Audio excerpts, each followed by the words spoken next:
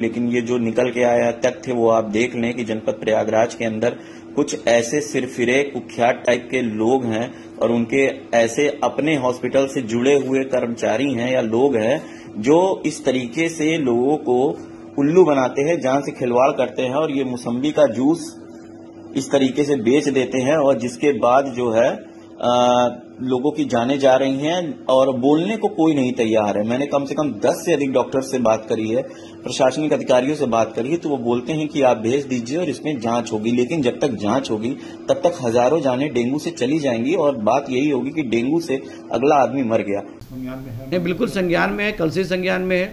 हमने जाँच टीम भेज दिया है।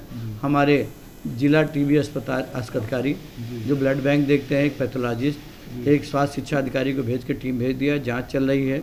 और जाँच में हॉस्पिटल जो ग्लोब हॉस्पिटल था उसमें पूरी तरह जाँच चल रहा है। और इस समय जो मुझे सूचना मिल रही है कि शाम तक पूरी सूचना मिल जाएगी। एक पाउच हमारे पास रखा भी जैसे प्लेटलेट है। उसके मरीज़ के अटेंडेंट ने बचा के रखा है। उसको हम जाँच के लिए फॉरेंसिक जाँच के लिए भेजेंगे।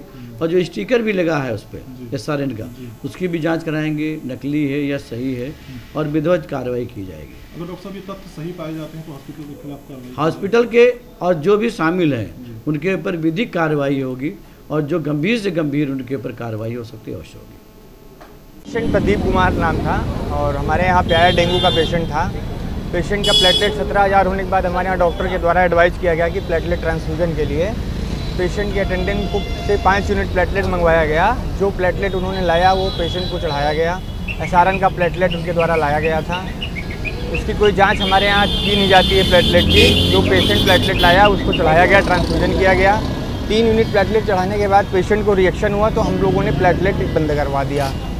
उसके बाद पेशेंट की कंडीशन थोड़ा सा ख़राब हुई तो उन्होंने उनके अटेंडेंट के कहने पर हम लोगों ने हार्ट हॉस्पिटल में उनको रेफ़र कर दिया। दो दिन के बाद जो है वीडियो आया है सामने कि जो है प्लेटलेट की जगह मौसमी का जूस था। अब इसमें हॉस्पिटल की क्या रिस्पॉन्सिबिलिटी है? जो भी प्लेटलेट उनके अटेंडेंट के द्वारा लाया गया, वही प्लेटलेट उनको चढ़ाया गया।